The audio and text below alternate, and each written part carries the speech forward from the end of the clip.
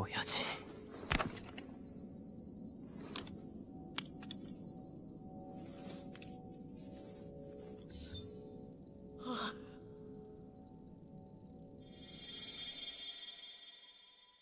おいそこの新人ども。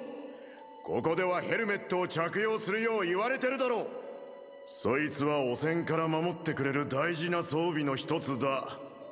それに警察官たるもの。ルールは絶対。ああもう分かってるって。何回目だよその話。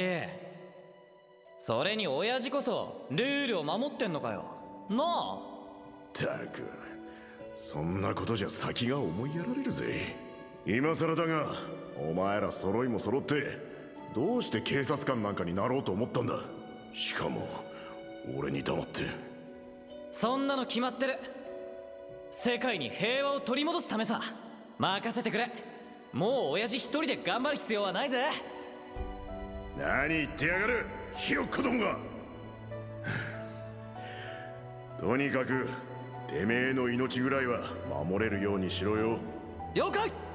返事だけはいいな。本当に分かってんのか。まあいい。もしもの時は俺が何とかすればいい話だしな。どうかしたか？いや何でもねえよ。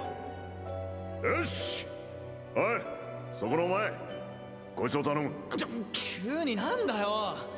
せっかくなんだからよ。記念にな